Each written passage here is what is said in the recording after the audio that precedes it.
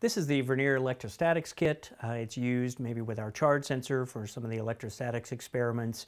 Uh, just a brief overview of what comes with the kit. So a big part of the electrostatics kit is the cage and pail apparatus. So we have the, the cage here uh, with the pail that goes inside there. And then uh, this is the ground plane, and so you would use it to um, actually attach a ground to it.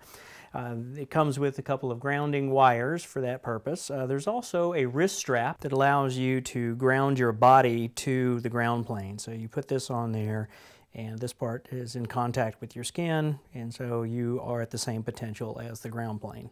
There are several ways of actually being able to produce charge um, with items in the kit. It has the nylon rod with the vinyl sheet. And it also has the PVC rod with the wool fabric.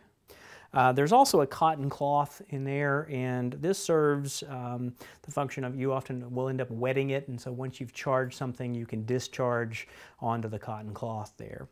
And then um, we have the two charge separators here, and this is a nylon disc, and this one is a PVC disc attached to lucite rods. And then this other one is the proof plane. It's an aluminum disc on a lucite rod. This allows us to move charges around uh, once we've uh, charged the, the pail. So this would be just a, a device that you might use uh, when doing electrostatics.